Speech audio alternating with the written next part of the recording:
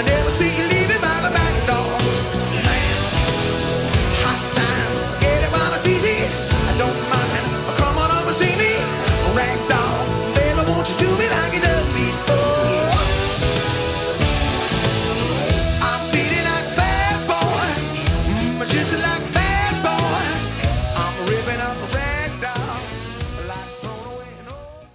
Ci stiamo ormai avvicinando verso gli ultimi chilometri, le ultime fasi di gara, le ultime fasi del Giro delle Pesche Nettarine di Romagna 2009. Ancora Caruso al comando, una quarantina di secondi, eccolo all'ultimo chilometro. Lo ricordiamo ancora una volta, 36 secondi lo dividono dalla vittoria in, dalla vittoria in classifica finale di questa prova. Si annuncia grande emozione, ricordiamo 10 secondi di buono per la vittoria vittoria Caruso logicamente si volta alle spalle, va a controllare la situazione, va anche addirittura a sprintare per guadagnare il più possibile, solamente il tempo di alzare le braccia al cielo velocemente sul traguardo e attendiamo ora proprio in tempo reale l'arrivo dei più immediati inseguitori del drappello del quale fa parte il leader della classifica generale Adriano Malori. Ricordiamo 36 secondi dividono eh, Caruso da Malori,